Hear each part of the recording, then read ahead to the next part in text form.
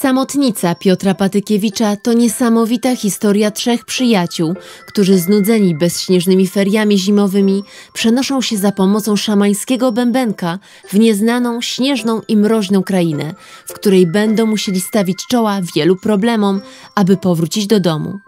Książka przedstawia mnóstwo interesujących i barwnych opisów wydarzeń. Przenosi czytelnika w zimową aurę przyrody i obrazuje krainę odmiennych ludzi, kultur oraz zwyczajów. Autor, tworząc powieść, wykazał się niezwykłą wyobraźnią i pomysłowością. Wykreował wspaniałych bohaterów i wciągające przygody.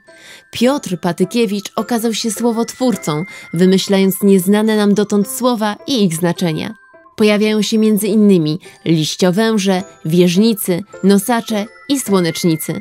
Samotnica zawiera wiele elementów humorystycznych, co nadaje jej swobodniejszy charakter.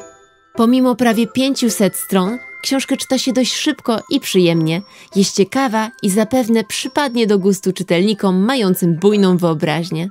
Adresatami mogą być zarówno młodsi, jak i starsi miłośnicy fantastyki. Idealna książka dla tych, którzy już zatęsknili za zimą. Z racji tego, iż książka znajdzie swoich fanów, zwłaszcza wśród dzieci i młodszej młodzieży, byłoby ciekawiej, gdyby w samotnicy zamieścić kilka ilustracji, na przykład głównych bohaterów ubranych w liściowęże, co mogłoby być dość zabawne.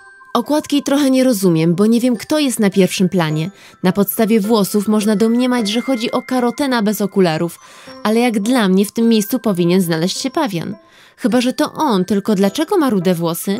Nie zmienia to jednak faktu, że na głównym planie moim zdaniem powinni znaleźć się wszyscy trzej przyjaciele, ale są to drobnostki, które nie wpływają na przyjemność czytania książki.